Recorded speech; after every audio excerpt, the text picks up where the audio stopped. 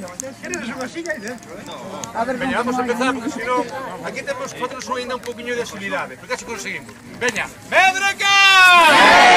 A Felixiña! Vai, esa